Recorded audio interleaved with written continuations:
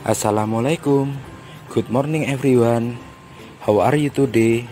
So right now we are going to learn about animal.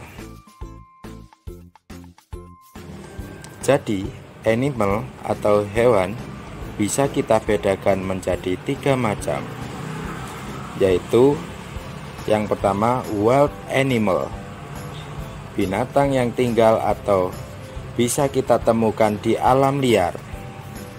Contohnya tiger, lion, crocodile, elephant, giraffe, dan lain-lain. Selanjutnya ada pet animal, yaitu binatang yang bisa kita pelihara seperti chicken, sheep, cat, and dog. Dan yang terakhir ada water animal, yaitu binatang yang tinggal di dalam air. Contohnya octopus, shark, shrimp, dan lain-lain.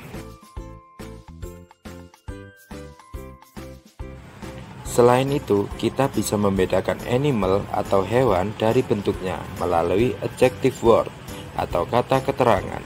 Seperti jerapah yang tinggi, kita bisa menggunakan kata tall. Ataupun kura-kura yang berjalan lamban dengan kata slow. Kupu-kupu yang indah dengan kata beautiful. Adjective word juga bisa kita gunakan untuk membantu kita membuat kalimat deskriptif. Berikut contohnya. Pertama-tama kita bisa mendeskriptifkan sesuatu melalui warnanya. Seperti kalimat it is grey. Kita bisa menggunakan kata tersebut karena gajah tersebut berwarna abu-abu. Dilanjutkan dengan menggambarkan bentuk fisik gajah tersebut seperti it has big body, menunjukkan bahwa dia mempunyai badan yang besar. It has large ears, karena memiliki telinga yang lebar. It has tusk and trunk, dia memiliki gading dan belalai.